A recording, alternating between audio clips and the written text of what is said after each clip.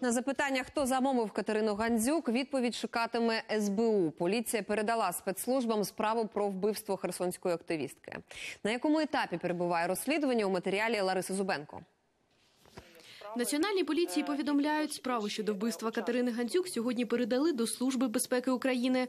За три місяці, поки активістка лежала в лікарні, провели ряд експертиз та обшуків.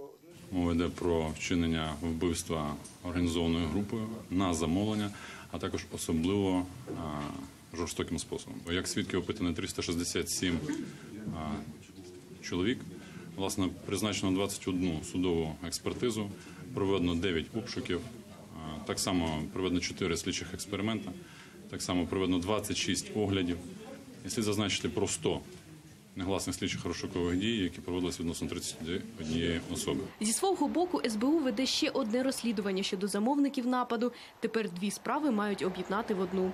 Слідчі Нацполіції встановили п'ятьох підозрюваних. Їх винуватість має з'ясувати суд. Їхня вина обґрунтовано доведена. Відтак, за наслідком цього судом прийняті відповідні рішення, які стосуються, в тому числі обмеження їх можливості пересування, а також на підставі зібраних матеріалів їм повідомлено про підозру у вчиненні злочину. Свої співчуття з приводу смерті Катерини Гандзюк висловив і в Європі. Офіційний представник Єврокомісії Карлос де Гордехуела під час брифінгу в Брюсселі зазначив, що українські правоохоронці мають докласти максимум зусиль, аби покарати винних. Нагадаємо, що Катерину Гандзюк облили концентрованою сірчаною кислотою 31 липня цього року. Жінці пошкодило очі та 40% тіла. За цей час активістка перенесла 11 операцій. Вчора вона померла. За попередньою інформацією, у неї відірвався тромб.